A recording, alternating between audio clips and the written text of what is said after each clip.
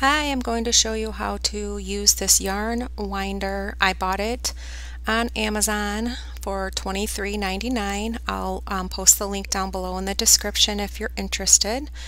Um, I did see this on TikTok and I wanted to try it. Um, I did like it. It is a great way to um, make your yarn compact a, a, easier way to store your yarn once it's um, wound up like that. And um, it's kind of fun to use. It's pretty easy to use too and the assembly is really easy. Um, I'll show you that as well. Okay? So it comes with this tube top um, that you're just going to place in those grooves and then it clasps right on there and then that metal part um, it comes the way it is. Then there is a bottom clasp that you will hook onto your table. Um, it goes right inside. You just hook it right in and then there's a little um, screw that you're going to um, just turn it and screw it on once you put the metal part inside on the bottom. And then the clasp you're just going to take it and place it right onto any table that's just a couple of inches in width and then clasp it on by turning it. It's real easy, real real easy to do. So it just came it just came with the two parts that you do have to um, place in there, and it's pretty easy.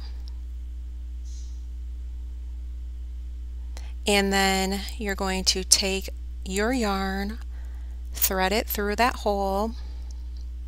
Real easy. This is way easier than I thought it was going to be.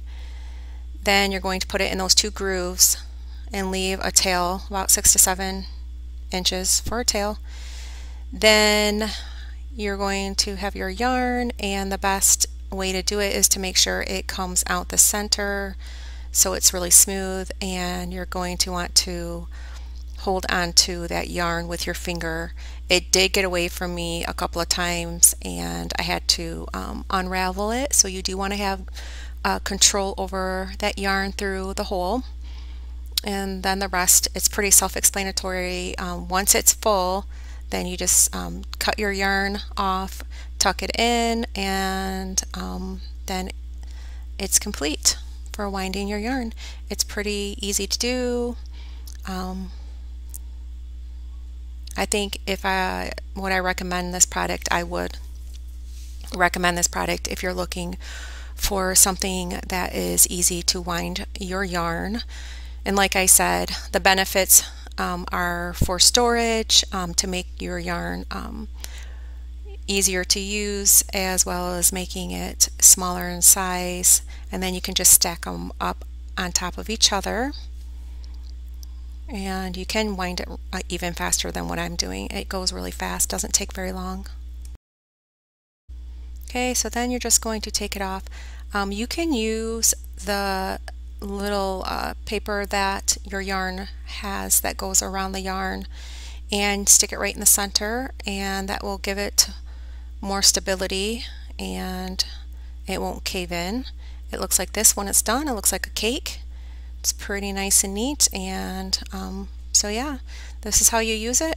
It's really, really easy. I hope you enjoyed this um, easy, quick, fun tutorial. Thank you for watching and please subscribe.